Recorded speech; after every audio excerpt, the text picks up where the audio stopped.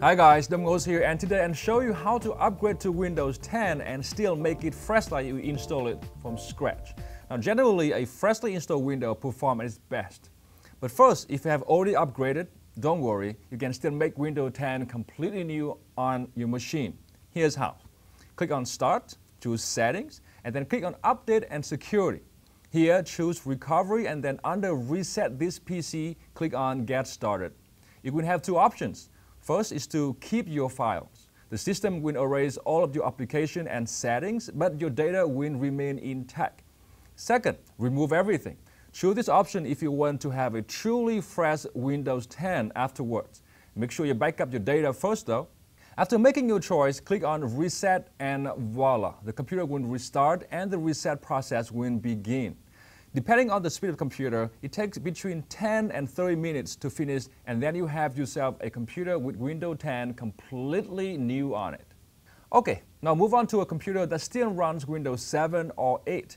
In this case, you want to avoid upgrading via Windows Update. Instead, you download the tool that enables you to upgrade Windows from a flash drive. Now, the process of turning a flash drive into a Windows 10 installer is quite straightforward.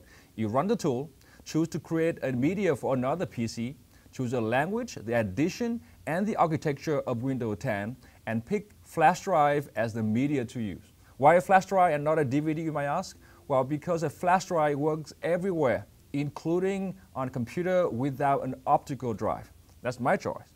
Note that the flash drive needs to be at least 3 GB if you want it to hold 64-bit or 32-bit Windows 10. If you want it to hold both it needs to be at least 6 gigabyte. After that, the tool will download Windows 10 and turn the drive into the installer. Now, insert this flash drive into a computer that still runs Windows 7 or 8. Open it and run the setup file. The setup process will start. There are a few steps, but the main one is this ready to install dialog. Here, click on choose what to keep, and then choose to keep nothing or just your personal files. And that's it. You go on with the rest of the upgrade process and when it's done, you will have Windows 10 fresh on the machine without the apps or the settings of the old Windows.